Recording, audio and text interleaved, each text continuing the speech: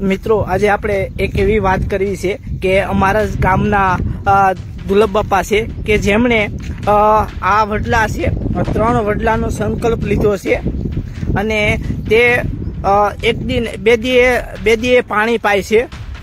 જો આવી રીતે તે પાણી પાય છે. ઉનાળાની અંદર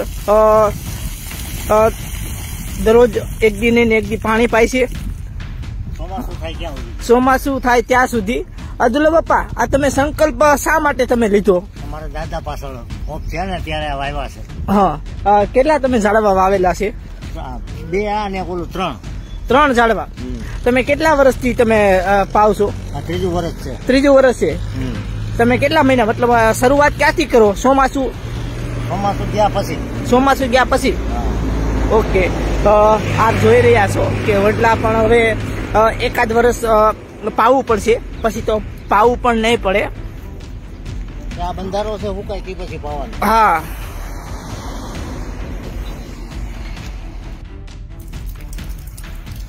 મિત્રો જુઓ અવેડાથી પાણી ભરી અને પોતે પોતાના જ ખંભા ઉપર લઈ માથે લઈ અને પાણી પાય છે.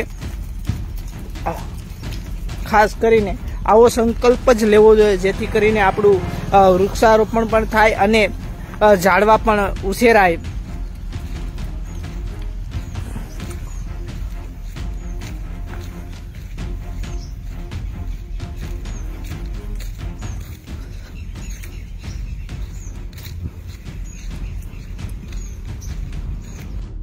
બાપા તમે શું કરો છો?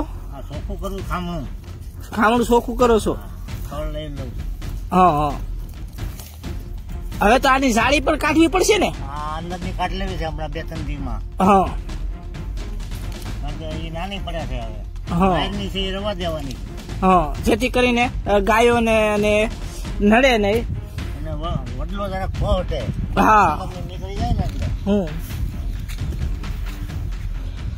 ખૂબ સરસ કાર્ય કારીગર કામગીરી છે અમારા ગામના દુર્લભ બાપાની. અને આવું જ હર કોઈ વ્યક્તિએ સંકલ્પ લેવો જોઈએ.